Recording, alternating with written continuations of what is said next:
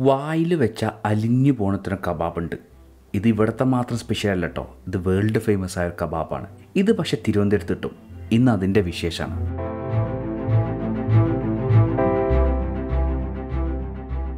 മലയാളികൾക്ക് പണ്ട് അത്ര ഫെമിലിയർ അല്ലാത്തൊരു സംഭവമായിരുന്നു കബാബുകൾ. നമ്മളിത് കഴിക്കാൻ വേണ്ടിയിട്ട് നമ്മൾ തിരുവനന്തപുരത്തുള്ള കബാബ് ദുക്കാൻ എന്ന് പറഞ്ഞിട്ടുള്ള ഷോപ്പിലാണ് ലൊക്കേഷൻ താഴെ കൊടുക്കാം.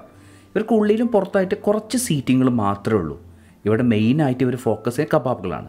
നമ്മളിരുന്നത് പുറത്തുള്ള ഒരു സീറ്റിങ്ങിലാണ് അപ്പോൾ ഞാൻ പറഞ്ഞു ഇവിടെ കബാബുകളാണ് മെയിനായിട്ടുള്ളത് കബാബ് എന്ന് പറയുമ്പോൾ നമുക്ക് ഷീ കബാബുകൾ ഉണ്ടാവും പലതരം ടിക്കകൾ ഉണ്ടാവും എല്ലാം ഓൾമോസ്റ്റ് ഡൽഹി സ്റ്റൈലാണ് ഡൽഹി സ്റ്റൈലിൽ ഒരുപാട് തരം കബാബുകൾ നമ്മുടെ നാട്ടിൽ കിട്ടാണ്ട് ചിലതൊക്കെ നമ്മൾ ഇവിടെയും ഓർഡർ ചെയ്തു.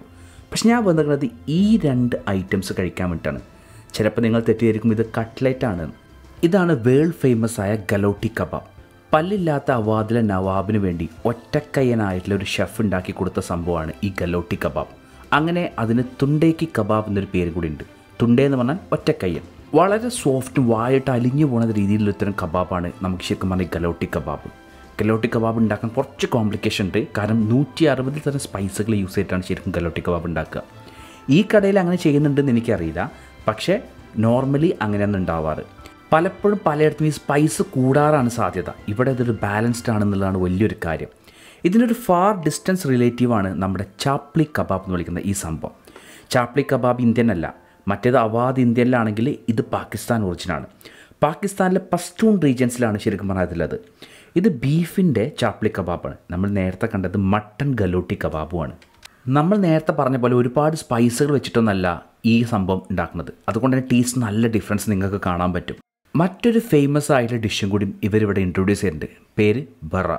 മട്ടൻ ബറ ഞാൻ കഴിച്ചിട്ടുണ്ട് ഡൽഹിയിൽ നിന്ന് പക്ഷേ ഇത് ചിക്കൻ ബറയാണ്. ഇപ്പം ഇൻട്രൊഡ്യൂസ് ചെയ്ത മൂന്ന് ഡിഷുകളാണ് ശരിക്കും പറഞ്ഞാൽ കഫേ ദുക്കാന് വേണ്ടിയിട്ട് ഒരു വീഡിയോ ചെയ്യാൻ എന്നെ പ്രചോദനം നൽകിയത്. ഞാൻ എന്റെ ലൈഫിൽ ഇതുവരെ കഴിക്കാത്തൊരു കബാബാണ് ചാപ്ലി കബാബ്. അതുകൊണ്ട് ഇതിന്റെ ഒറിജിനൽ ടേസ്റ്റ് ഇവിടെ കഴിച്ച ടേസ്റ്റ് തന്നെയാണെന്ന് എനിക്ക് ഉറപ്പില്ല. എന്നാൽ കഴിച്ച ഗലോട്ടി കബാബിന്റെ ടേസ്റ്റ് ഏകദേശം അത് തന്നെയാണ്. തൊണ്ടേ കബാബിന്റെ യു പിയിലെ ഷോപ്പിനോളം വരുന്നുണ്ടോ എന്ന് ചോദിച്ചു കഴിഞ്ഞാൽ എനിക്കങ്ങനെ യെസ് എന്ന് പറയാൻ പറ്റില്ല. പക്ഷേ നോട്ട് ബാഡ് കാരണം കേരളത്തിൽ ചാപ്ലി കബാബും ഗലോട്ടി കബാബും കിട്ടുന്ന ഏക ഷോപ്പ് ഇതാണെന്നാണ് എന്റെ ഒരു അണ്ടർസ്റ്റാൻഡിങ് ഇതല്ലാതെ ഇവിടെ പലതരം ഷീ കബാബുകളുണ്ട്. ഇതിപ്പോൾ ചിക്കനിലും ഉണ്ട് ബീഫിലും ഉണ്ട് മട്ടനിലും ഷീ കബാബ് ഇവിടെ ഉണ്ട്. അപ്പോൾ ഇതാണ് ഇവിടെ കഴിച്ചത്. ഒരുപാട് ഡ്രൈ ഒന്നും അല്ലാത്ത ഷീ കബാബാണ്. അതാണ് പ്രധാന കാരണം. എന്നാൽ സ്പൈസ് ഡിഫറൻസും ഉണ്ട് ടേസ്റ്റ് ഡിഫറൻസും ഓരോ കബാബിനും നമുക്ക് പെട്ടെന്ന് തിരിച്ചറിയും. പിന്നെ എല്ലായിടത്തും കിട്ടുന്ന ഒരു സംഭവമാണ് ഇപ്പം മലായ് കബാബ്. ഒന്നുമല്ല ചിക്കൻ ടിക്കയിൽ നമ്മൾ മലായ് അതായത് ഫ്രഷ് ക്രീമും കുറച്ച് ബട്ടറും ആഡ് ചെയ്ത് നന്നായിട്ട് മിക്സ് ചെയ്ത് ചൂടോടെ എടുത്തു കഴിഞ്ഞാൽ അത് മലായ് ടിക്ക എന്ന് പറഞ്ഞൊരു സംഭവമാണ്.